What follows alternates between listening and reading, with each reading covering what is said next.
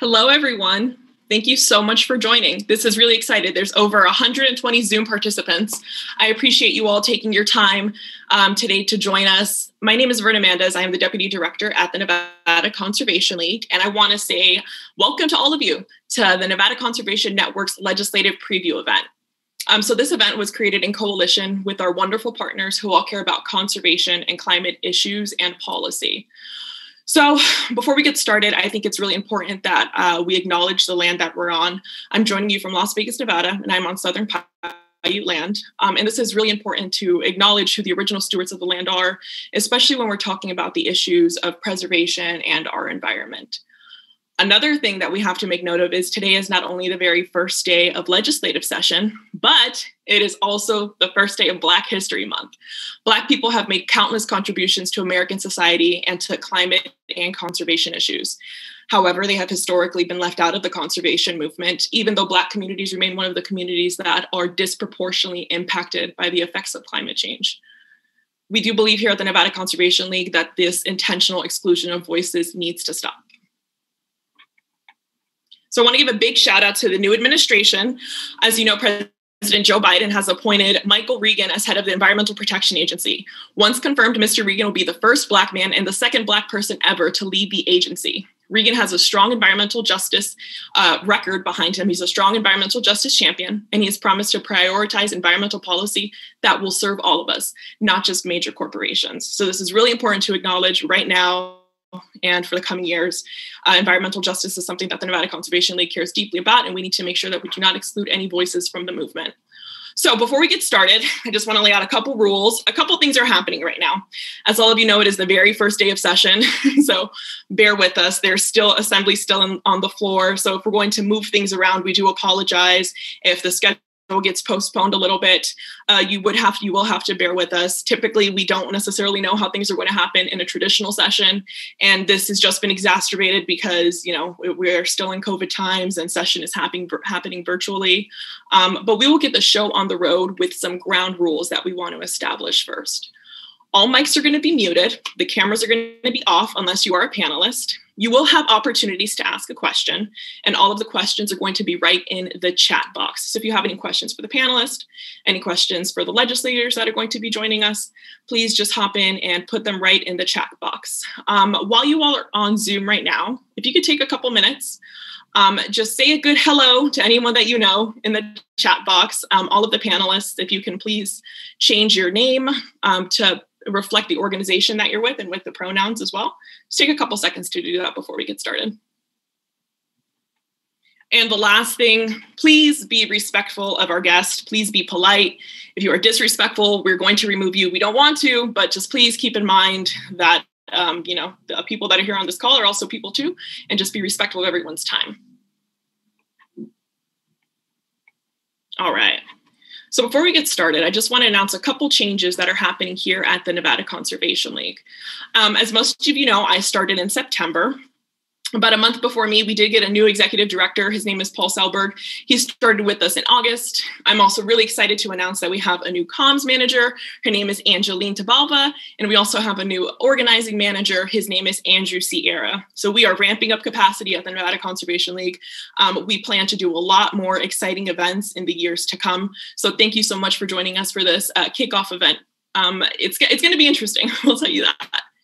NCL also wants to learn and hear from you. So if you can take a second, we have Andrew on the line. He's going to drop a survey in the chat box. This survey is going to be a community survey that Nevada Conservation League is putting out just because we want to make sure that we listen to the voices of Nevadans and that you guys have an opportunity to tell us all of the issues that you care about.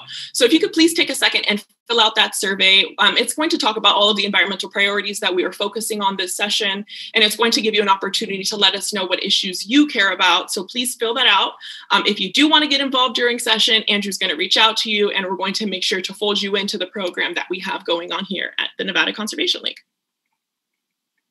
I just wanted to let you guys know um, a couple of surprising statistics that we have learned. In Nevada, we are fortunate to have so many legislators that care about conservation, public land protection, and climate change. Nevada Conservation League Education Fund conducted a poll that found that 82% of voters in the state consider climate change a serious problem, with 60% defining it at least as a very serious problem. An overwhelming majority of Nevadans support lawmakers taking a strong action to combat climate change, driven by the belief that such, such action will have a positive impact on future generations' health and our economy. So, with that, I'm going to just pause myself for one second. We're going to make sure that our legislators are able to join the call. We do have some really strong environmental champions here in Nevada, and I just want to make sure that we give them an opportunity to talk a little bit about themselves. So, give me one second and let me make sure that our legislators are on. Thank you.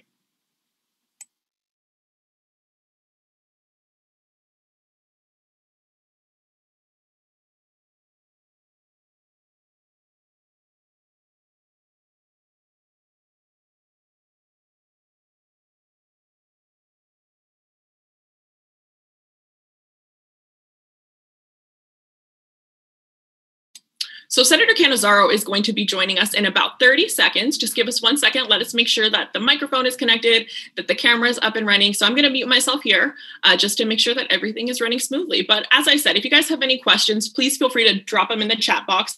We do have the Nevada Conservation League team monitoring the chat box. We do have some wonderful partner organizations that are going to be interacting with you as well. And if you are watching from Facebook, please feel free to drop any comments that you'd like, any feedback, give us any suggestions for new places that you'd like to eat feel free to interact with all of us here.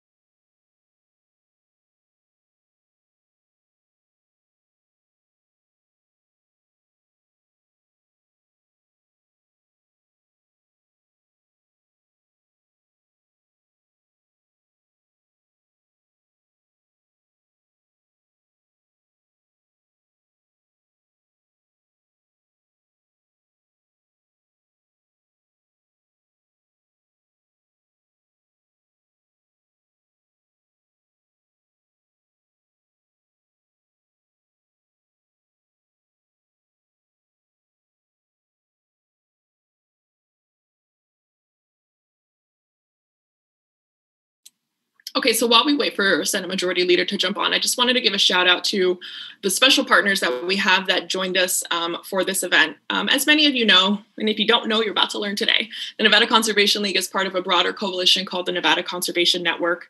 Um, this is a great network because it is a bunch of just organizations that come together because we all have a love and care for the environment. And the ideology spreads all the way from left to conservative. We have a lot of progressives and we have a lot of conservative minded folks that are part of this coalition um, that all care about conservation and advancing climate justice. Um, so i wanted to give a shout out to the organizations that participated with us today and i'll read some of their names off for you. So hosting this event with the Nevada Conservation League, we have Battleborn Progress, Chispa Nevada, Eco Madres, Environment Nevada, Friends of Nevada Wilderness, Get Outdoors Nevada, Great Basin Resource Watch, Moms Clean Air Force, Natural Resources Defense Council, us, the Nevada Conservation League, Nevada Wildlife Federation, the Progressive Leadership Alliance of Nevada, the Sierra Club Toiyabe chapter, Southwest Energy Efficiency Project, Vote Solar, and Western Resource Advocates. So we are all part of a broad coalition. We meet very frequently to talk about all of the issues that we care about here in Nevada. And we do like to learn from Nevadans and hear about the issues that you all care about as well. So that's why I want to express again the importance of filling out the community survey. Um, you know, none of our work would be done if we didn't if we didn't hear from you. So please take a second, fill that out, and um, we will be right back and ensure that Senator Cannizzaro can go ahead and get started.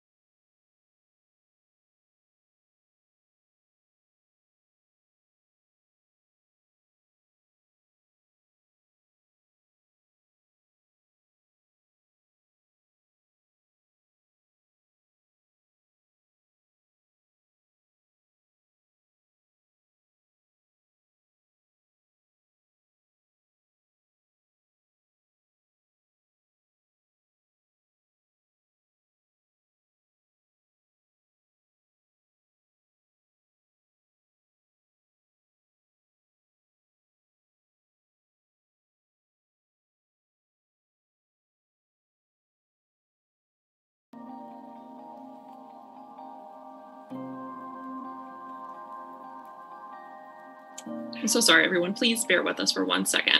Um, I don't even want to say technical difficulties or session difficulties. We're just trying to find the names.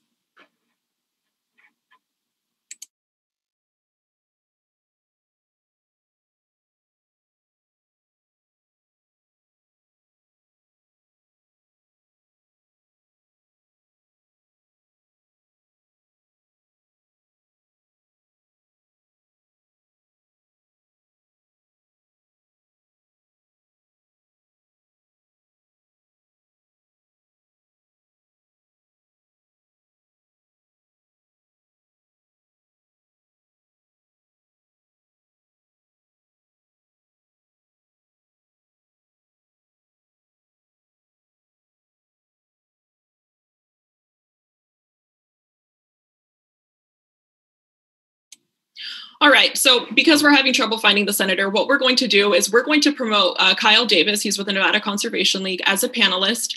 Um, something that's really exciting that happened in Nevada is um, we have the governor's office of energy and a bunch of other institutions here have conducted a climate research strategy. Um, there's a, some great reports that have come out about where Nevada, what Nevada needs to do specifically in order to meet our climate goals. So, I'm going to turn it over to Kyle to give us a couple minutes. He's going to give us a brief rundown of some of the findings uh, Uh, some of the findings there. There you are, Kyle. Go ahead. All right. Well, thanks, Verna, and it's uh, it's great to be here uh, tonight, and uh, happy to, that we've got so many people logged in that are interested in what's going on with uh, conservation in uh, the legislative session that's coming up. So, I did want to give just a couple of minutes just to make people aware. I'm sure many people that are a part of this uh, this event tonight are aware of the state climate strategy, but was just hoping to highlight a few things. So, um, if we go all the way back to the 2017 legislative session, it was during that session that a couple of things happened. One, um, the Go- Governor Sisolak uh, joined Nevada in the U.S. Climate Alliance. Now, the U.S. Climate Alliance is a coalition of states and provinces and cities and counties that um, committed uh, to reaching the goals under the Paris Accord um, after uh, the, the, the Trump administration signaled their uh, interest in moving away from the Paris Accord. Luckily, we are now moving back towards it, and our country will soon be a member again. But at the time, these states wanted to make it clear that we still felt that climate change was important and that we, it's something that we that needed to be dealt with.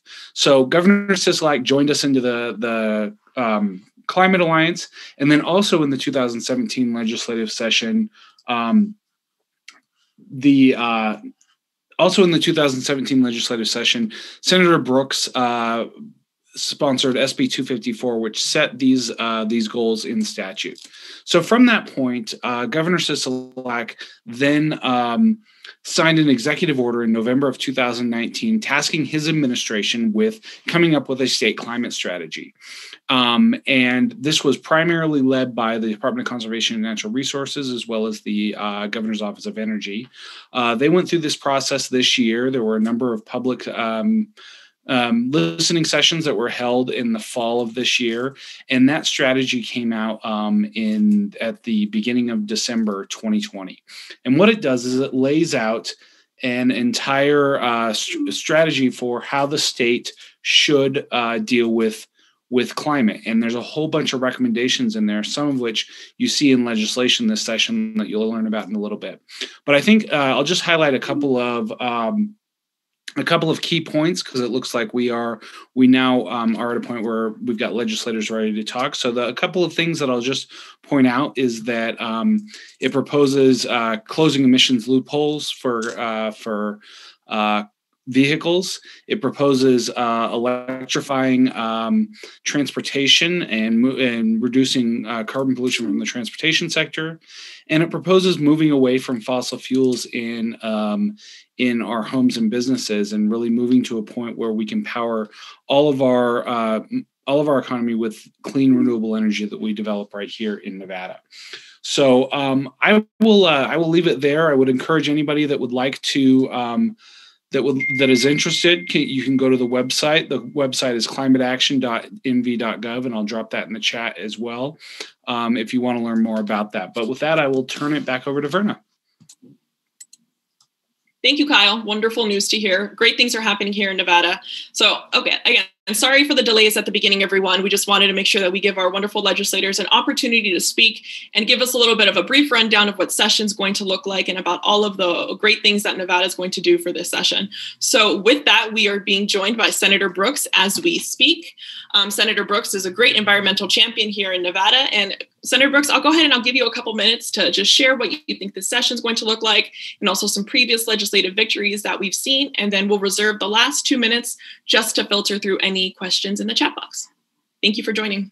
Oh, thank you, Verna, and uh, apologize for for jumping in and out, but we had a floor session that's kind of gone long, and we're gonna have to go back onto it. And so, uh, typical uh, legislative session, but it started on day one. So, uh, um, thank thank you for for putting this together too, by the way, and and, and being able to to talk to everybody about what we're to do this session. So, uh, Kyle had mentioned some of the things that uh, we, we, all collectively as a legislature did in the 2019 session, and then what the governor did um, by joining the Climate Alliance, and then all the subsequent work that's come out of that that um, stuff that we did in the session and and and the, the membership of the to the Climate Alliance. We came out, uh, the, the, governors, and it came out with a uh, um, came out with a report that cataloged uh, our greenhouse gas emissions as a result of of a bill that we worked on last session, 254 and then came up with uh, some some actions and uh, a whole a whole uh, guide on on what we as a state can do that gives us some some great ways to implement policy and a lot of stuff that doesn't need any any statutory changes. But uh, as a result of, of just kind of keep moving the agenda forward even in uh, a in a climate that we face right now with the budget and what's going to be just a, a really difficult legislative session from a budget standpoint, but also from uh, logistics um, because of, of the COVID crisis. We still need to move the, move the agenda forward. And there are ways that we can, that are budget neutral, that we can make big impacts. And so I have uh, what has turned out to be a, um, a, a big uh, energy bill, um, for lack of a better term, and that is going to um, help us move the Nevada's new energy economy forward. And in it, it will have um, electric vehicle charging infrastructure um, plans, um, and it will have a, a, a, alignment of our IRP process, integrated resource planning for the electric utilities. It will have that integrated, or excuse me, aligned with our carbon reduction goals so it won't just be the renewable portfolio standard anymore that um, is guiding how we invest in clean energy in the state. We're actually going to use the carbon reduction goals of the state to to guide um, uh, clean energy investments in our state. Um, it also um, will incentivize and um, and prioritize uh, new electric transmission in our state to open up tens, you know, at, at first glance, about $10 billion worth of investment in clean energy around the state of Nevada. And um, and it will create opportunities for rooftop solar for um, tenants and and and folks who didn't tenants in multifamily housing for folks who generally haven't been able to participate in rooftop solar. So that's a um, um, it's going to be one big bill, and and uh, and I'm currently um, uh, finalizing that right now. But um, that's uh, we can do this even in the midst of a pandemic, even in the midst of a uh, a, a massive economic downturn. We can take advantage of, of this legislative session to move the ball forward on climate and also create um, jobs and good paying jobs and um, tax revenues. I think we, all of these things live can, can live together, and we can achieve all of the goals at the same time. So that is uh, that's what I'm working on, and and with some of my peers over here in the Senate, and I'm sure in the Assembly as well. Thank you, Senator Brooks. We do have one question in the chat box. Can you um, tell us if you know the number to the bill that you're referring to? What's that BDR number? Uh, sure. So I there's probably about five different BDRs, but they're all going to be combined into one bill. That was uh, for for both po- political reasons and for drafting reasons. Um, I'm currently um, uh, putting them all into one bill. I don't have that BDR number.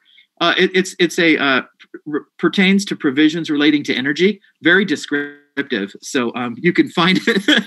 you can find it based on that descriptor. I just can't remember the uh, BDR number right now. Yeah, no worries. So what we're going to do, um, all of the folks who RSVP for this event, you are all going to get some follow-up information. So we'll make sure to circle back with you, Senator Brooks, and find what that number is. That way, all of the attendees can follow along. And right. one last question for you, Senator Brooks. Um, what are you looking forward to the most this session? And it doesn't have to be anything bill related. In general, what are you looking forward to the most this session? Sine die. uh, no. Great answer. uh, actually, I'm, I'm, I'm really looking forward to um, uh, being able to expand uh, the clean energy opportunities in the state of Nevada through transmission investment. I think it's long overdue, and uh, it's always been incredibly politically difficult to get it done um, because the largest ratepayers in the state just don't want to see any sort of uh, any sort of rate impact, even though it's it's very small and spread over decades. Uh, uh, that that is something that takes a long time to plan, and it, and we are decades behind in doing it. And to really get to the next level on deep decarbonization at, at, at an affordable price, uh, we need massive transmission infrastructure investments. So that's what I'm really the most excited about, um, and and and seeing that happen. Um, and that, and then electric vehicle charging infrastructure. I've worked with many of the partners um, on this call, and and specifically, I'd like to to, to thank Rudy at Zamora at Chispa and all the work that Chispa did with uh, NRDC and WRA to really come up with a thoughtful way to make investments in charging infrastructure that benefit Nevadans who really need it, need the charging infrastructure the most. Nevadans who who have been disproportionately impacted by the air quality associated with our current transportation system and who have missed opportunities to be able to take advantage in this clean energy economy. So I much thanks and and and and for all the hard work that Rudy and Chispa did uh, with uh, NRDC and WRA. Awesome. Well, thank you so much for joining us, Senator Brooks. We really appreciate you taking the time to talk to us today. Uh, we know that things are a little bit hectic on the first day of session, but we really do appreciate you talking to all of the folks here in Nevada that care about the same issues that you care about. Thank you for joining. Thank you. Just keep up, keep up your go, all the hard work. We're going to need all the help we can get this session. So we do have Senator Cannizzaro. She was actually able to join us. Sorry for the delay there in the beginning. Um, let me see if we can find her. Oh, there she is. Hi, Senator Cannizzaro. Thank you for joining us today. Hello. Thank you so much for having me. It's great to be here. It's great to have you. So, why don't you go ahead and um, just give us a little bit of a rundown of what you think this session is going to look like and anything that you're looking forward to?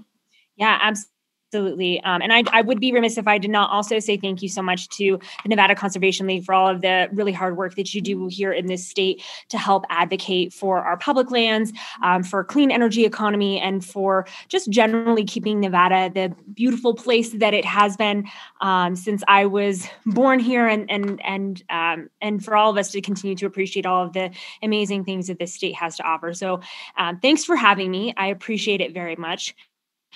Uh, I think Senator Brooks is really truly hit on so many of the priorities that we have this legislative session, um, and so many of the things we're going to be working on.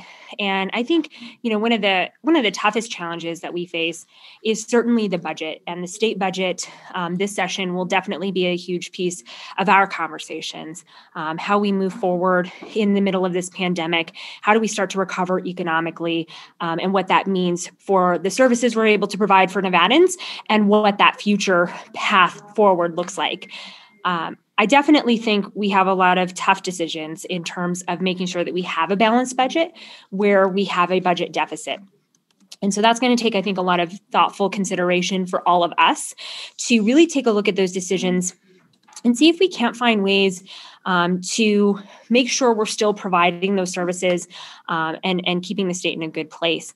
One of the key pieces that I think interconnects with that that whole conversation and why I bring it up um, here is we really do have to start looking at ways in which we can start to create a, stable economy here in the state where we can utilize um, our abilities where we've taken such a great lead on clean energy here, on um, carbon transmissions and how to reduce those here in the state, where the governor has been working so hard on a climate action plan. Um, how do we start to capitalize on the leadership and the successes that we've seen here in Nevada to truly start to build our economy um, and start to include things like our clean energy sector? I think that's going to be such a huge piece of the economic recovery in light of the pandemic and something that I'm very much looking forward to working on.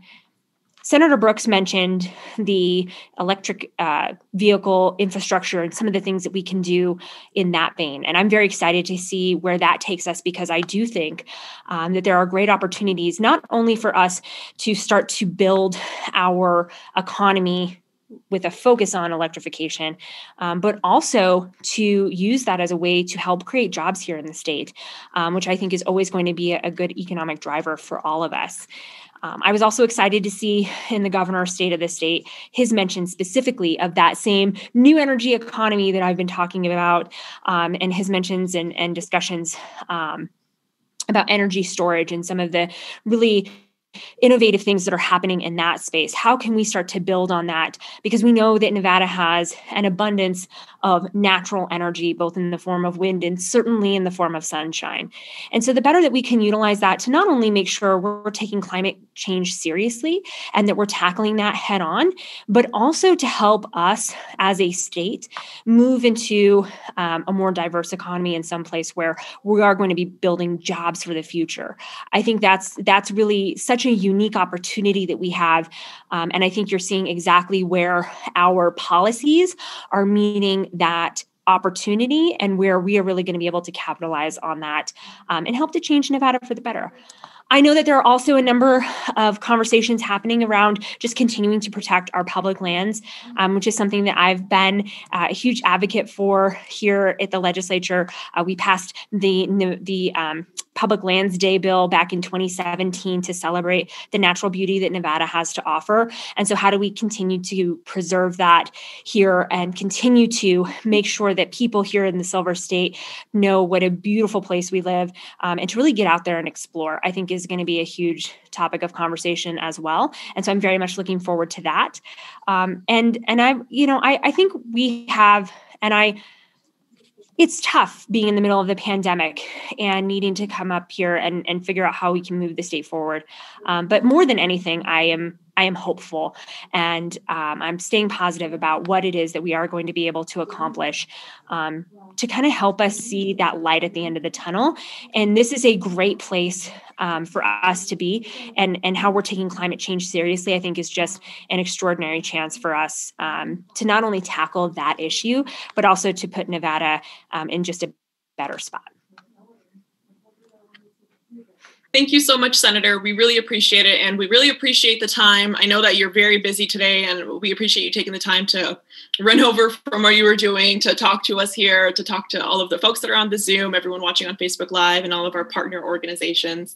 Um, thank you. So I'm going to turn it over to our policy director, Christy. Um, she was looking at some questions in the chat box, and we're going sure. to see if we have any good questions for you. Thank you. Hello, Majority Leader, and thank you again so much for being on with us tonight after a very busy day. Um, so, Emily in the chat asked, I read in the Nevada climate strategy that we need to move away from using fossil fuels like oil and gas. Is the legislature planning on doing anything this session to start that process? Um, and I think that's an excellent question and absolutely the kinds of conversations that we have to be having. Um, we started that by passing Senate Bill 254 last session by putting into place a, um, a carbon reduction plan that I think is going to give us some good guidelines on how we can actually achieve that. Um, and so the answer, the short answer to your question is yes. And I do believe there are a number of pieces of legislation, and I apologize because I actually don't know the BDR numbers or the bill numbers off the top of my head. I'd have to go look it up on NELIS, um, which is our state legislative system. Really easy to navigate. Um, but yes, we are going to start having that conversation. Um, it's part of the climate strategy from the governor's office. Um, it's something that I know we have been invested in, certainly here in the Senate. Um, and yes, there are bills that we that are going to allow us to begin that conversation of how to long term start planning for that and taking the steps necessary now um, to achieve those goals. Thank you so much. And one more coming to you from Facebook. Uh, can you talk more about infrastructure projects the new administration is likely to champion? Maybe some that might even happen here in our state. Yeah, I you know I think one of the exciting things um, that we're seeing both at a federal level and here at the state level um, are the chance to really have those conversations about infrastructure. How do we start to create it?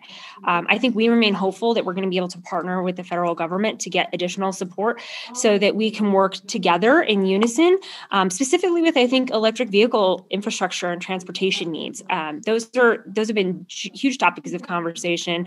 Um, you heard Senator Brooks talk about that. Um, and I think that that is something that we're seeing not only here in the state of Nevada, but certainly on the federal level. So we're watching all of those pieces. Um, I'm hopeful we're going to be able to partner on a lot of those projects. Certainly, um, capital improvement projects and the new energy economy has been a huge piece of the governor's state of the state and what we're eager to work with him on this legislative session. Um, and will be part of those budget conversations that I mentioned as well when it comes to those projects. Wonderful. Thank you so much, Senator. I know that you're really busy, so we won't take up more of your time. Thank you for joining us again on the first day of session. Uh, we really thank you. you. No, thank you so much, and I appreciate you having me. All right. Um, next up, I already see him here in the queue. We have Assemblyman Howard Watts. Um, Assemblyman Watts, thank you so much for joining us. Thank you so much for having me. Glad to be here. So we do know that in Nevada, you are definitely a champion for all of the issues that we care about. Um, can you just give us a little bit of a rundown? Same thing, what you look forward to this session, and also if you could talk about some previous legislative victories that we've had for conservation and for climate. Yeah, absolutely. And, you know, just to, I know some other speakers have talked about it as well, but Nevada plays such a critical role uh, in the conservation movement. You know, um, we're now getting a lot of traction with the effort to protect at least 30% of our lands and waters uh, for future generations. We know that's critical for biodiversity, it's critical for uh, access to the outdoors, for our mental and physical health. And Nevada really has the opportunity to lead in that effort in terms of conserving our public lands, our public waters, and public spaces. Uh, because we have the so much uh, public land in this state. So, um, you know, I'm really excited to see what we can do to uh, protect our special places and to make sure that we have protections in place for our air, uh, our water, um, and really that we take a focus on equity um, in in our approach to these issues as well. You know, making sure that we are engaging the voices of uh, indigenous communities who have been here for countless generations. You know, making sure that we're addressing some of the health, economic, and other access disparities that communities of color have faced um, that are related to uh, environmental and conservation issues. So that's something that I'm really passionate about, um, as well as the senators who just spoke, um, taking action on climate change. You know, uh, Governor Sisolak has continued to move forward since last session when uh, we passed bills creating carbon reduction targets and increasing our commitment to uh, renewable energy uh, now we have a state climate strategy that lays out a variety of, of policies to help get our emissions down across every sector and ensure that uh, we hit our climate goals. You know, lastly, I think with COVID, um, the links between uh, conservation and health are clearer than ever. Many of the pollutants that we're talking about are also directly related to uh, air pollution that affects our ability to breathe, that leads to lung disease and puts us at risk for complications. Um, and you know, additionally, the uh, overarching effects of climate change, excessive heat, uh, drought, wildfire, all pose uh, a public health and safety risk. So. Uh, I'm very excited to to be taking on some of those things. I have a couple of bills that actually fit into the climate strategy. Um, one of which we'll uh, hopefully be talking about soon. And uh, you know that's something that that I am extremely excited to to work on in this session. But we're not stopping there. Um, we are uh, there are going to be bills to uh, to commit Nevada to the goals of protecting more of our uh, public lands and waters. Um, we're going to be looking at a range of legislation um, to protect our natural resources, our, our wildlife, um, and again, I'm I'm excited to try and make sure that everybody's voice is at the table. As the chair of the Assembly Natural Natural Resources Committee, um, to have the maximum amount of participation and uh, to craft policy that uh, protects uh, our natural resources for future generations. Thank you so much, Assemblyman. So, um, Christy has been monitoring the chat box, and you have a lot of really good questions that have been dropped in here in the Zoom. Um, folks, also feel free to, if you're on Facebook Live, feel free to drop some questions in there as well. Um, so, Christy, go ahead and take it away with a question for the Assemblyman. Um, so, a question from Facebook Our trail systems are seeing heavy use during the pandemic. Can we get more money invested into these open spaces? Any thoughts on that? Thanks. That's a great question. So, uh, one of the things that I was really excited about that we also did in the last legislative session was extend our conservation bond program, um, which is able to pay for a wide range of conservation improvements. Um, it includes, um, you know, new facilities and recreational opportunities, uh, as well as um, doing work to um, repair damage from wildfires and protect and preserve habitat. Uh, and so that's going to be a major source of support um, for some new initiatives going forward. Things like the Springs Preserve um, were funded in the first round of, of conservation bonding. So uh, that's something that we have to look forward to to help expand uh, those prospects. Another thing that I can also say really quickly is um, thankfully, one of the few things Congress was able to accomplish uh, in their last session was permanently reauthorizing and fully funding the Land and Water Conservation Fund. Uh, and one of the huge benefits of that is it provides 50 50 matching grants um, for recreation projects here in the state. So that um, potentially is opening up a lot of uh, additional federal funding that state and local governments can match in order to expand uh, recreational opportunities in the state. So those are a couple of things, and you know I think we are committed to continuing to find ways to make sure that we're um, providing the um, recreational infrastructure that is needed um, in our our open spaces. Thank you so much, Assemblyman. And one other question this is from Sean in the chat. He says climate change disproportionately affects communities of color, but it's still not seen as a racial justice issue. How do we change this thinking? Uh, that's a great question. I think one of the things that we need to do is just introduce it in the conversation wherever possible. It's great to see that there are so many participants on this Zoom meeting. So I would encourage all of you to work with uh, the Conservation League to, to understand the racial equity implications of conservation policy and speak up for them here at the legislature. Um, we are uh, committed, even though uh, the building's access is limited right now, to making sure that everybody can participate in the process and make their voice heard. And so I hope that um, you all will speak up on those issues. It also falls to people like me and other leaders in the legislature uh, to talk about um, the connections between racial justice and racial equity and conservation issues. And as I indicated earlier, it's something that I'm passionate about. And uh, one of the the pieces of legislation that I'm excited to talk with you about this evening um, actually um, has some of those connections um, and is something that I'm really really excited to be working on. Thank you, Assemblyman Watts. Um, do you have a couple of minutes to stick around? I know that Chispa wanted to see if you have some time to talk about a bill that you both are working on together. I know you probably are busy today, so if you have to run, that's okay too. Yep, I have a couple minutes and then I'll jump to my next meeting. Okay, no worries. So um we're going to turn it over. So this is the portion where we're going to have the partners give a little bit of an update. I'll explain it a little bit further after this conversation that's going to happen with Assemblyman Watson with um, Rudy Zamora from Chispa. But Rudy, I wanted to give you an opportunity to talk about the piece of legislation that you both are working on together that's going to be absolutely great for Nevada. Oh, sorry, Rudy, you're on mute. Sorry, just cut myself. tonight. Good job. should be used to this. So many Zoom meetings. Uh, but thank you, Verna. Thank you, Assemblyman Watts, for for sticking around to help us with this uh, presentation. Um, as you mentioned, and as that last question um, came up from uh, about communities of color, I think this bill is definitely going to hit that that target that we were just talking about.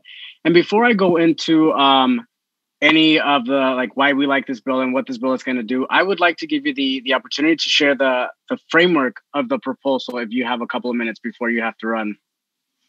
Sure, um, and I'll, I'll try not to um, cover too much ground that you already would, Rudy. And if I do, I apologize in advance. So, um, really briefly, uh, this bill has a few components to it, and I want to highlight two and kind of the process of how I I got to this point. So. Um, the first is changing our classic cars program. Many of you may have seen cars on the roads that have classic vehicle plates, um, but they don't uh, look like kind of hobby enthusiast car show um, vehicles. And one of the reasons for that is after the law governing those plates was changed in 2011, um, people realized that they could use it as a loophole to avoid getting smog checks. Um, so people with older vehicles, um, polluting vehicles that are having issues with smog checks, can use uh, these classic vehicle plates if their their uh, car or truck is 20 years old or older, in order to get around the smog check program. So as I already start uh, stated earlier, I, I, once I learned about this, um, you know, it had been discussed in some of the uh, evaluations of climate issues by the state, and it's clearly something that between um, high traffic corridors being located in low income communities and communities of color, as well as the fact that often this is something kind of of necessity that um, small businesses, entrepreneurs, and lower income families are doing because they can't afford to make the repair or get a new vehicle. Um, I decided that this was something that I wanted to address and kind of close those loopholes so that we can get those polluting vehicles uh, either in compliance or off the roads. But I also realized that doing that was going to have um, some significant impacts on people financially. At the same time, it was delivering health benefits in terms of taking that pollution out of those um, communities. So, um, working with um, with Chispa and others, um, I came up with a, an idea to adjust our um, smog fee. So when you go pay for, say, a, a $20 smog check, $6 of that goes to our state and local governments to uh, run air pollution control programs. And so if we adjusted that up to $10 um, and everyone paid $4 more on their smog check, um, we could bring in revenue to help support programs targeted to uh, uh, lower income communities and communities of color uh, to help repair. So, to provide a voucher that covers the average cost of a repair for a vehicle that um, has failed a smog check, or to help replace that vehicle uh, with a brand new clean electric alternative. Um, there are programs like this that have been implemented in uh, other states. They have been extremely successful, and um, and again, they've been targeted specifically to the communities that need them the most. Um, and they provide that support up front, which are things that we've seen to help make sure that the transition to uh, a clean energy economy, to uh, electric vehicles, is is accessible to everybody.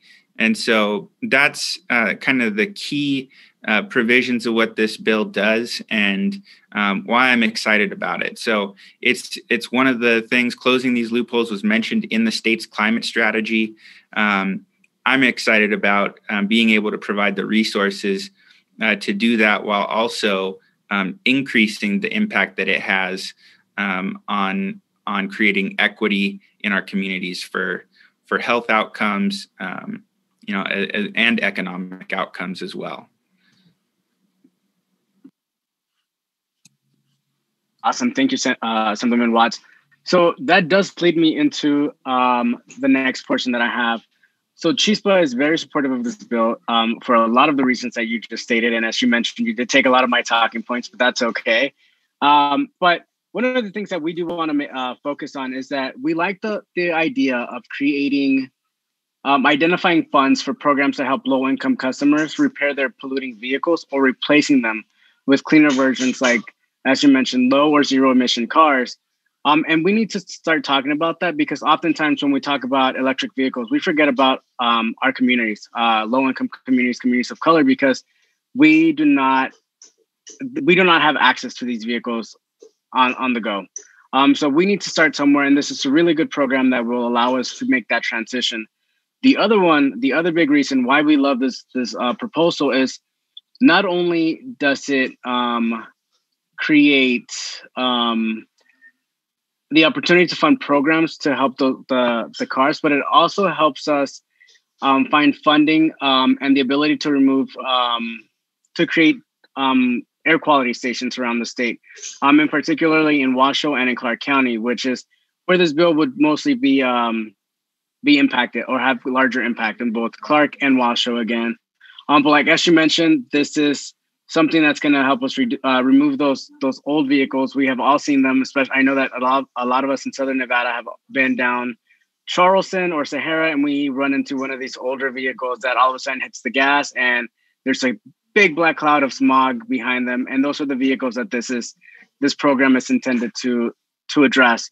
Um, so that they can either get that vehicle fixed or that they can replace it because now there's there's going to be incentive programs um, so again, thank you for for um, help uh, helping push this bill forward, and we look forward to working with with you and the rest of the Nevada Conservation Network.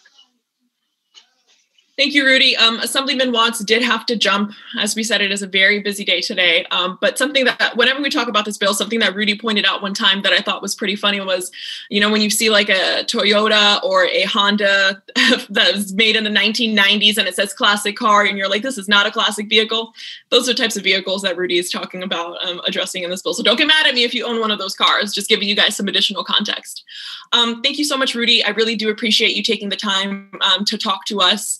Um, so, as I mentioned before, this is where we're going to give a little bit of a transition and we're going to talk about the priorities of the Nevada Conservation Network. So, the piece of legislation that Assemblyman Watts and Rudy talked about are one of the five priorities. Um, the Nevada Conservation Network came together and we voted on our top five priorities to focus on for this session. Um, so, I'm going to turn it over to Ian with PLAN. He's going to give us a little bit of an overview of a piece of legislation that NCN is working with in coalition with PLAN. Um, before I turn it over to Ian, I just wanted to give a shout out to Assemblywoman Monroe Moreno. She was supposed to join us tonight. She's very busy. As you all know, again, it is the very first day of session, so we appreciate her trying to take her time um, to come to talk to us, but we will have a lot more opportunities to engage, engage with her and other legislators throughout the rest of the session. Um, so Ian, uh, yeah, I see you there. So we're going to go ahead and we're going to go, we're going to give you the ability to share your screen. Um, that way you can give us a little bit of a presentation about the legislation you're working on. Sounds great. Thank you so much. Um, hi, folks. Ian Bigley. I use he, he, him pronouns. I'm a lifelong resident of Reno, Nevada, and I work as the mining justice organizer with the Progressive Leadership Alliance of Nevada. Uh, so I'm, I'm glad to be here tonight as a part of the Nevada Conservation Network's agenda, and I'll be stealing the screen here.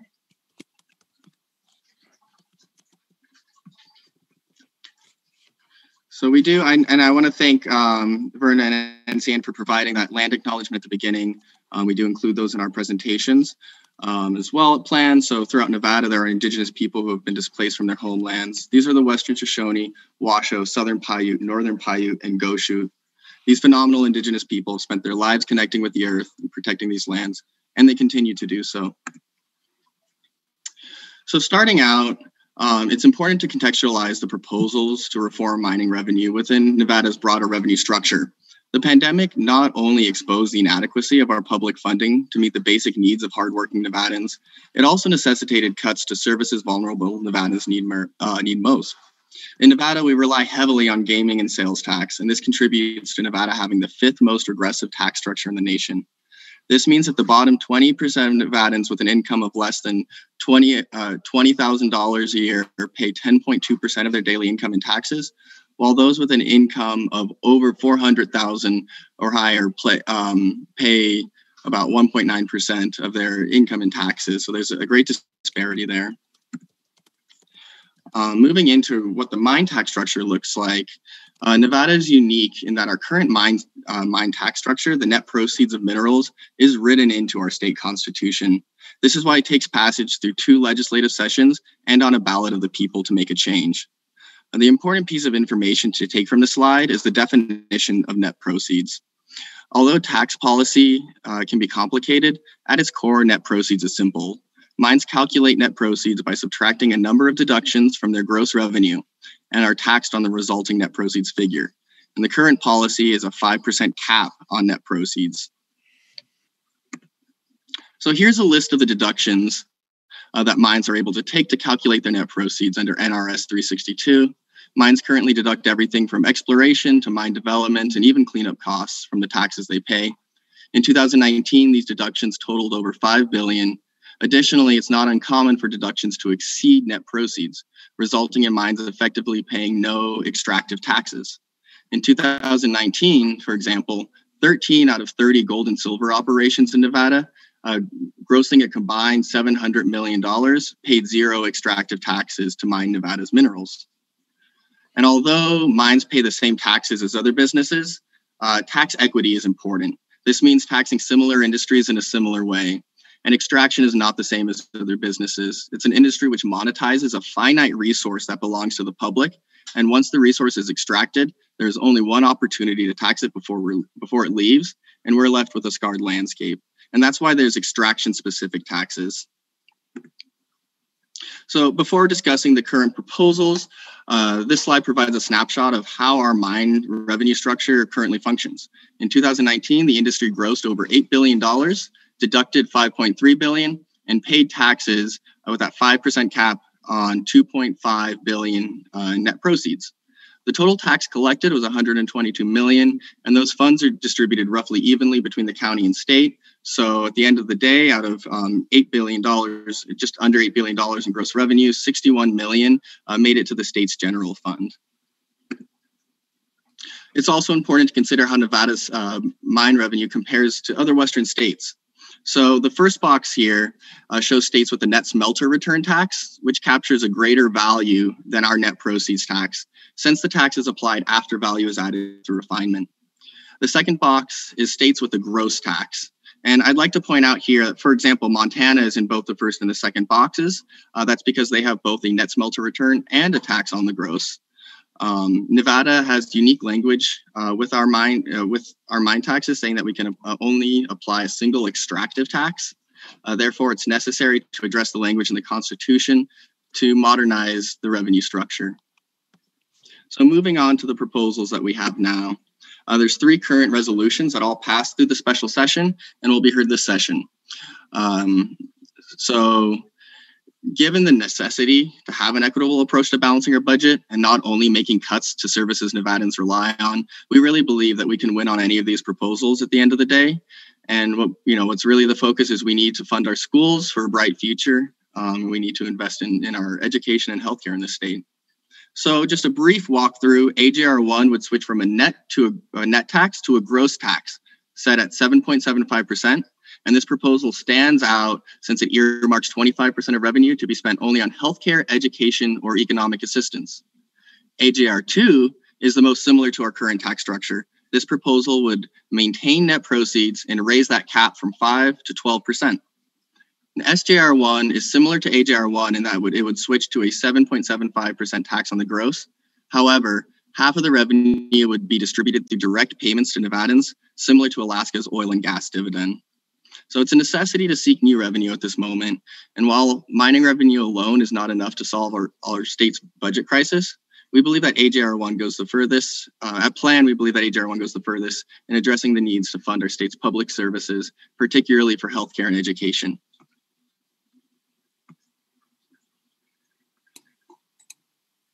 Thank you, Ian. Uh, I appreciate you taking the time to talk to us about this today. Um, we're going to go forward and we're going to um, finish all of the discussions for the rest of the panel members. But if you guys have any questions for Ian, again, please feel free to drop them in the chat box. What we're going to do is we're going to run through the rest of the presentations, um, and then we're going to circle back and ask any questions that we have in those last 15 minutes. Um, and I know that right now we're taking some time and we're talking about the policies that all of the organizations are going to be looking at. Um, what I will say is sometimes it's little bit difficult to follow a lot of the heavy policy jargon. Um, don't let that discourage you from the process. All of us are more than happy to have a one on one conversation with you to sit down to dissect some of these issues a little bit more or to even tie you into all of our efforts that we're going to have during session. So please, if you have any questions or if you'd like to learn anything else, um, feel free to reach out to us. Um, so with that, I'm going to turn it over to Dylan. He's with the Natural Resources Defense Council. They're actually prioritizing two bills this legislative session. So we're going to give him a little bit longer time so we can talk about both of those pieces of legislation. Thank you, Dylan. Okay, thanks, Verna. Uh, so good evening. It's great to see such amazing attendance from Nevada's legislative leaders, stakeholders, uh, and most importantly, Nevada residents who are interested enough in climate, uh, fiscal conservation policy to spend a big portion of their uh, of their evening with us. So thank you. Uh, I'm Dylan Sullivan. I'm a senior scientist in the Climate and Clean Energy Program of the Natural Resources Defense Council NRDC. I'm based in Reno, and I'm going to talk this evening about two conservation community legislative priorities that I've had a big hand in. Uh, one is responsible energy planning legislation. Uh, the second is energy efficiency legislation. Uh, but first, I want to give some context for this work. Um, the climate crisis is here in Nevada. This summer, in the middle of COVID, when I was most in need of the outdoors, many of the days I, I, couldn't leave the house and go for a hike because breathing was dangerous due to wildfires that ultimately burned 4% of California's land area. That's bigger than like burning all of Connecticut and add a big chunk of Rhode Island there. It's, it's it, it, you know, it burned a huge amount of land, resulted in smoky skies in Nevada and even further east.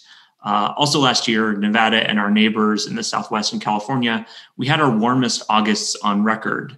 Uh, and we know that heat waves like this, they, they impact uh, low income people and historically underserved communities the hardest. Um, and you know, without without action, it's going to get worse. Uh, so we really do have to take action. Um, but what does Nevada have to do to get to zero climate warming emissions by 2050, which is what scientists say is kind of the minimum necessary to give us a hope of a safe climate? Well, to answer this question, what do we need to do to get to zero? NRDC, working with the Sierra Club and really well regarded consultants, modeled how the state can reach uh, 2030 and 2050 greenhouse gas emission reduction goals that were put into law in 2019 and that uh, Senators Brooks and Majority Leader Cannizzaro uh, both mentioned.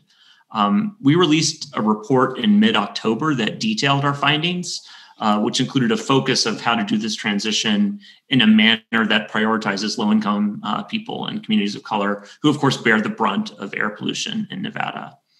Um, our report, which I'll put in the chat after I'm done talking, uh, showed that Nevada really has to do three things to get to zero emissions. Um, first, we need to get a lot more of our electricity from renewable sources like solar, wind, and geothermal we need to get to high levels even sooner than is required in the renewable in the renewable portfolio standard that's on the books in Nevada. And I worked a lot on that, so uh, it's great, but we need to do even more. Uh, we need to do more because a clean electric grid makes possible the next task, and that's using this clean electricity instead of fossil fuels to move around town. So by that I mean electric vehicles, electric school buses, expanded public transit options, uh, but also using this clean electricity for those things where we currently use so called natural gas in our homes and businesses. So it's actually the fossil fuel methane, and it's a potent greenhouse gas. Nevada produces none of it. We spend uh, like 1.8 billion a year buying it from other states. Um, using uh, renewable electricity uh, and, and, and using efficient electric technologies like heat pumps and induction cooktops to heat our homes, to get hot showers, to cook instead of using methane gas, um, which has troubling health effects in addition uh, to contributing to the climate crisis. That's something that we need to do. And of course, the third thing that we have to do to become uh, to, to, meet our goals is to become uh, a lot more energy efficient. Because using less energy in our homes and businesses makes the whole task of replacing fossil fuels with renewable energy a lot easier. Uh, and a big benefit of these combined approaches is that it allows Nevada to use uh, its solar resources, which are the best in the nation, and other renewables to power the state instead of out of state fossil fuels. Uh, so, with this background, I'll turn to the legislation. Uh, first uh, is responsible energy planning, uh, which is sponsored by Assemblywoman Lesley Cohen. The basic idea of this bill is that as Nevadans use less methane gas, uh, in homes and businesses in the future, gas utilities are at risk of wasting ratepayer money on unnecessary construction projects or on expanding their service territories to bring methane gas to communities that don't have it now. Uh, gas utilities are going to want to do this because their business model is getting a return on infrastructure investments. That's what we pay for in our monthly gas bill. Uh, so this bill is about making sure that we get the best return on our energy investments in the years to come, and that means that we have to scrutinize investments in gas infrastructure that we might not be using in the coming decades, and also considering alternatives like solving the energy need with clean energy uh, and clean electricity instead. Um, th- this bill, responsible energy planning, also tasks the body that regulates gas utilities, the Public Utilities Commission, uh, with looking at the future of gas utilities and gas use in Nevada to make sure that we have an orderly transition that provides opportunities uh, for gas workers and prioritizes low income and historically underserved communities in the transition. So that's responsible energy planning. The second piece of legislation uh, that I'm working a lot on is energy efficiency legislation. Uh, so, energy efficiency programs exist to help businesses and households save energy uh, and saving energy means saving money on uh, our monthly energy bills. Uh, the basic idea here is that it needs to be easy and affordable for customers at all levels, so homeowners, landlords, renters, business owners, uh, to make the energy efficient choice that will save money in the long run. Uh, you know, say your gas furnace breaks. Uh, when you're looking to replace it, a few things have to happen if you're going to choose an electric, energy efficient replacement your HVAC contractor needs to have a high efficiency model in stock. He or she has to know how to sell them, and they have to be priced comparably to the standard model that you would just buy anyway. So that's what energy efficiency programs do: is that they they just make it easy to choose energy efficiency. Now, NV Energy has existing energy efficiency programs, but they're not big enough. And this really has to be a priority. Uh, our modeling shows that we can't reach our climate goals with, without energy efficiency, um, and programs are a really important part of the solution. So this bill does a couple things. It, it, number one puts higher targets in place for how much energy NV Energy's programs uh, should save. Uh, number two, it increases the amount of budget that NV Energy needs to devote to programs that are focused on low-income customers and historically underserved communities. Uh, number three, it gives the PUCN, uh, sorry, the utility regulator, the option to designate a third-party entity to run programs uh, if NV Energy uh, doesn't want to do so. And um, finally, it makes NV Energy or whoever runs programs come forward with, with programs that, that give customers electric options when their methane gas uh, appliance breaks. Um, so these aren't the only two bills we'll be working on this legislative session, but they're uh, two that I think are going to have really critical impacts for the state, uh, reducing air pollution, reducing monthly utility bills, and uh, working toward our climate goals. So thanks. Thanks, Dylan. We appreciate you taking the time. Um, once again, please go ahead and stay on the chat with us. We are going to monitor the chat box and we're going to ask questions right after our very last presentation. Thank you. Um, last but not least, we're going to turn it over to Christy Cabrera. She is our policy and advocacy director here at the Nevada Conservation League. Um, Christy is absolutely amazing. We would not have a great understanding of all the policies that we do if we didn't have Christy on our team. Um, so, yeah, Christy is going to give us a brief rundown of the last NCN legislative priority. Go ahead, Christy. Thanks, Verna, and hello again, everyone. Um, I'm going to shift gears a little bit and talk about Nevada's iconic wildlife and open space that we all know makes our state such a great place for both all of us and wildlife to call home. Um, but we also know that there are some threats to our open spaces and our wildlife. Urban development can threaten our wildlife by consuming and fragmenting their habitat, cutting off important migration corridors, um, and impacting the quality of air or water that they need to survive and to thrive. However, with thoughtful planning informed by experts and using the best available science, many of these impacts can be avoided or minimized so that we can meet the meet, meet the needs of Nevada's communities while protecting habitat and environmental quality for the benefit of wildlife and Nevadans alike. So we are advocating for a bill that requires developers to consult with the Nevada Department of Wildlife on any significant development proposals or plans. Developers would have to state the impacts to both wildlife, wildlife and habitat when they submit their proposals. The local government or other permitting authority would then be able to take this information into consideration when deciding whether to approve a project, deny it, or require some kind of mitigation effort. This would be the first step towards encouraging developers to avoid impacts to wildlife and habitat. Uh, Nevada's wa- lands and wildlife have become even more important during the COVID 19 pandemic, with families seeking solace in nature for recreational opportunities and health benefits, affirming the connection between our land's health and our community's health.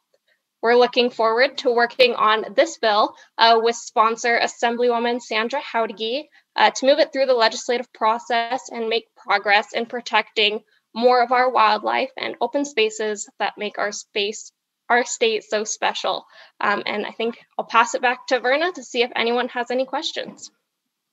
Thank you so much, Christy. I appreciate it.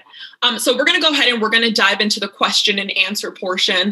Um, I actually see one question that I wanted to present in the chat box because when I learned this statistic, it was fascinating to me. So the question is, what impacts to public land? What are the impacts to public land access or outdoor recreation for outdoor recreation?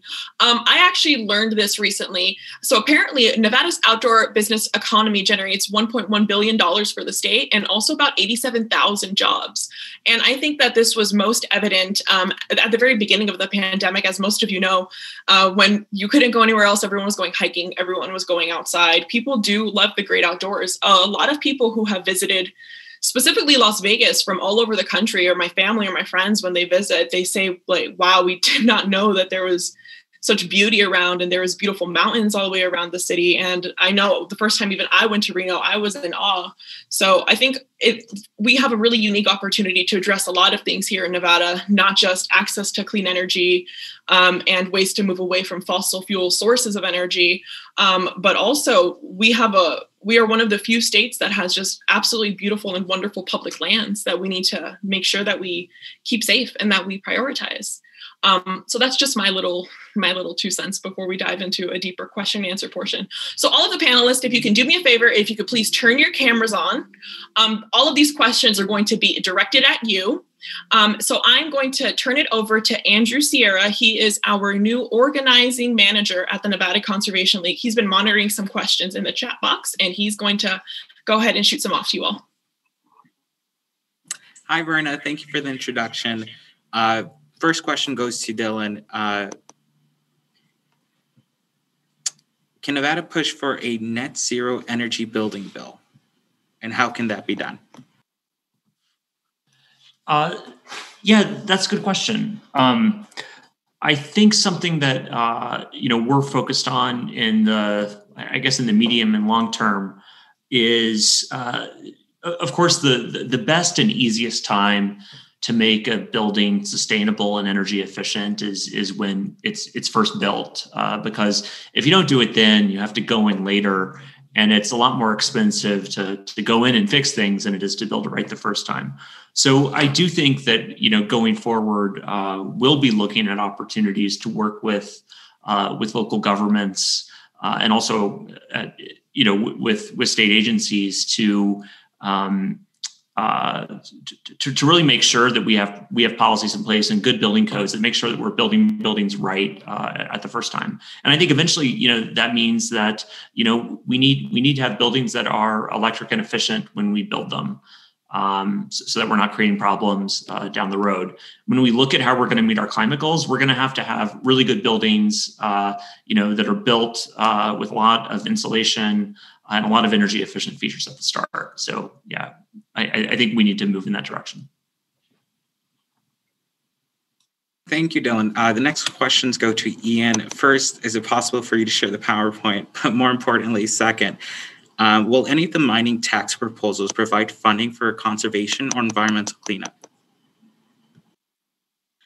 Yeah, so you know, as currently written, that there's not money earmarked similar to the money for healthcare, um, education, uh, or economic development.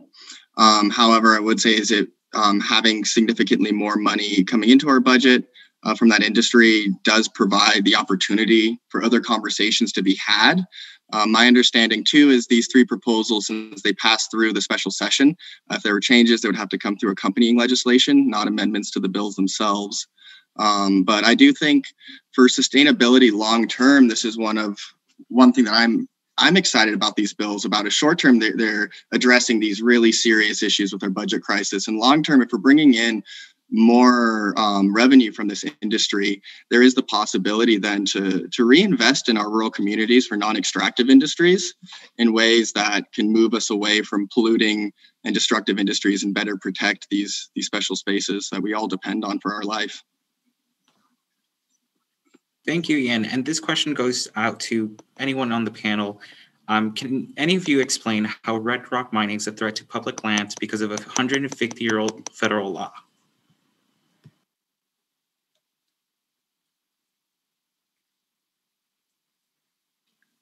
Was that, uh, could you re- uh, repeat the question? I apologize. I missed the beginning. No worries, and my apologies. Um, this question goes out to anyone on the panel. Uh, can anyone explain how red rock mining is a threat to public lands because of a 150 year old federal law?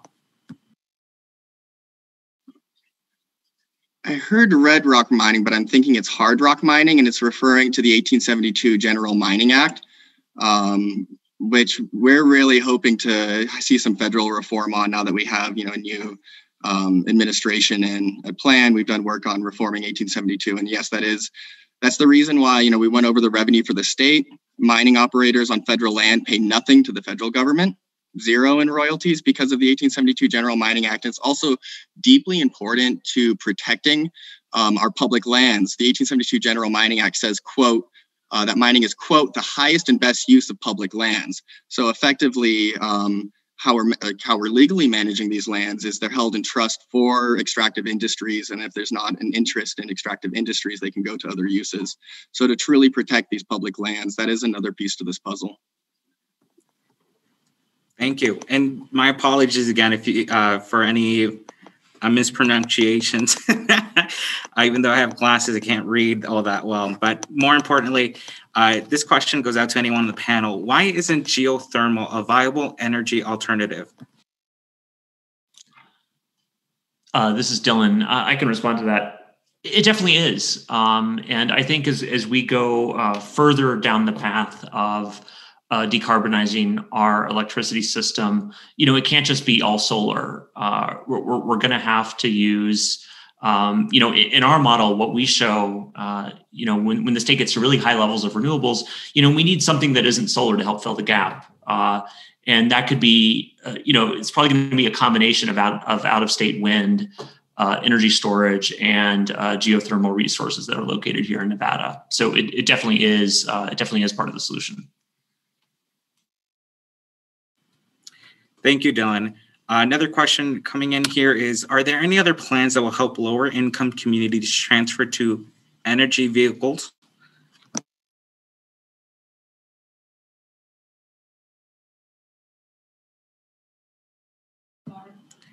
I can try to take that one.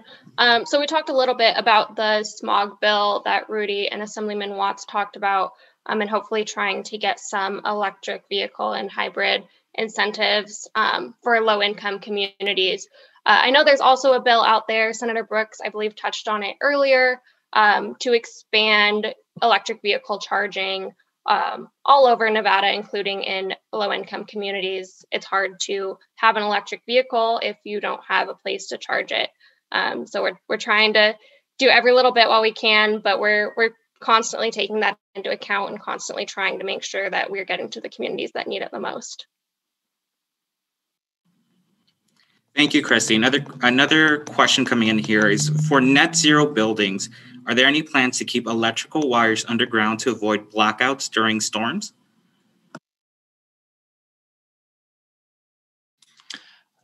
Um, this is Dylan again. I don't think there are, uh, and it's just kind of a thing that's pretty common in the U.S. Uh, you know, most uh, the distribution system, uh, the wires that get the electricity from a um, from a substation to your house, those have typically been above ground just for reasons of cost.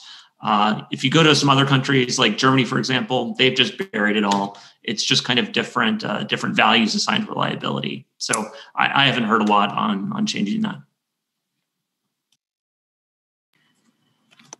Thank you, Dylan. And one question that was asked for Rudy is how can we ensure more opportunities for communities of color to gain access to the outdoors? You know, I think uh, one of the legislators mentioned um, it's just being part of, uh, of the process, making sure that our voices are being heard and, and taking action. I know that this session is going to be a little bit different, but don't let that deter you uh, and make sure that you're participating in any way that you can. Uh, use social media. They're always paying attention to social media. So make sure you're communicating with them through social media. Make sure that you um, follow the PLAN page, the Chispa page, the Nevada Conservation page, um, in order to make sure that, uh, in order to follow the events that we have and anything that's going on in the community to, to make sure that you're staying active. And I think that's that's the big thing. Make sure that you're you're staying active. Thank you, Rudy. And then another question coming in for Ian: How long will legislation take for mining reform? So, for the mine revenue reform, uh, since they're resolutions for an amendment to the Constitution, um, the proposal that we went on uh, this session will go on to a ballot of the people in 2022 and take effect in uh, 2023. Um, however, for other reforms that would be needed and kind of seeing off another question of you know how how are we doing on mining reforms as far as the need for mining for producing re- uh, renewable energy technologies? I do believe that there's a lot more we can do there uh, to make sure that not only are we having a just transition to um, energy production but the sourcing of materials is just as well um, and those are things that we've continued to work on a plan and and do believe that there's lots of opportunities um, and not as many being heard this session um, but to improve that, one thing I'll lift up from this session is um, we, we do support Assemblywoman Peters' um, proposal to enact a study group to form an environmental justice review process. Um, that's important too, given that you know we do environmental review for mine projects on federal land under NEPA. However, we have no state level review process, and it's important to have an environmental justice element, especially considering for these mining projects uh, disproportionately infect Indigenous peoples. Thank you, Ian, and thank you to all our panelists for, uh, for answering all of these questions. Uh, for anyone who still has any more pending questions, please feel free to visit our website, nevadaconservationleague.org, or our Facebook or any other uh, of our social platforms, and feel free to give us a follow and ask us any questions there. Uh, that said, I'll pass it back to Verna uh, to lead uh, to close out our conversations. Thank you.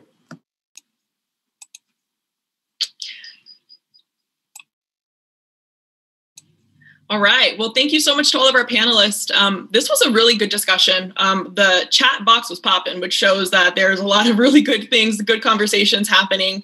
Um, thank you all again for taking the time to chat with us. Thank you to all the legislators that took the time to talk with us on the very first day of session, and to all of you that stayed on until almost seven o'clock at night to hear about the conservation priorities that we have here in Nevada. Um, I just wanted to reemphasize what I said at the beginning. I know at the beginning we were kind of in a rush trying to figure out if we were able to have legislators on. Um, but there was some pretty important content that I wanted to make sure that all of you heard. Um, as, an, as I mentioned earlier, the Nevada Conservation League Education Fund conducted a poll that found that 82% of voters in the state consider climate change a serious problem.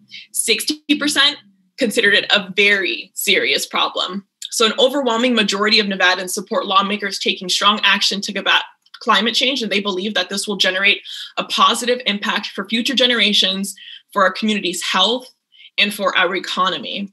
And I think that that is most evident here that on this Zoom we had up to at one point over 170 people listening to these conservation priorities. It just goes to show that a lot of Nevadans do care a lot about these issues. Um, so, again, thank you so much for taking the time to talk to us.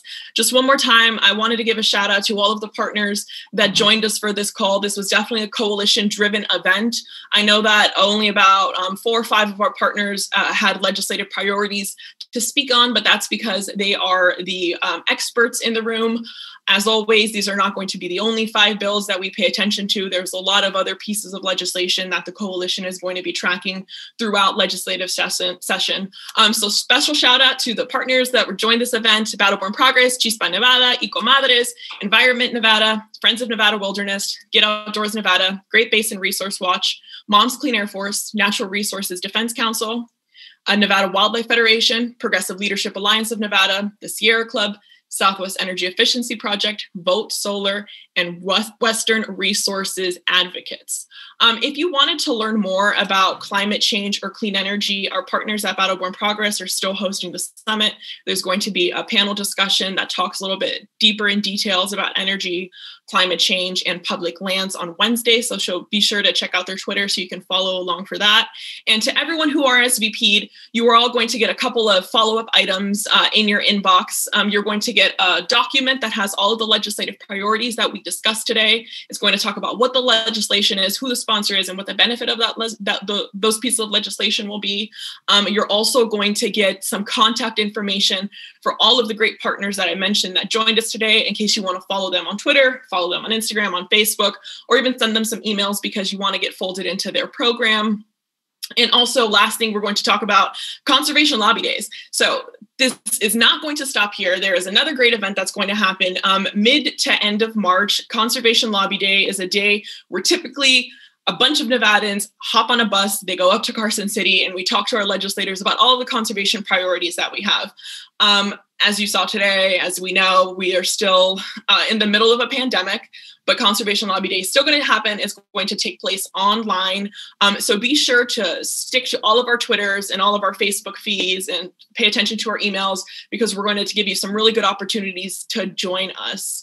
Um, so, yeah, so with that, I'm going to go ahead and wrap up the event. Stay safe, wear a mask. Happy first day of session. Happy Black History Month. And thank you all so much for joining. You guys have a great night.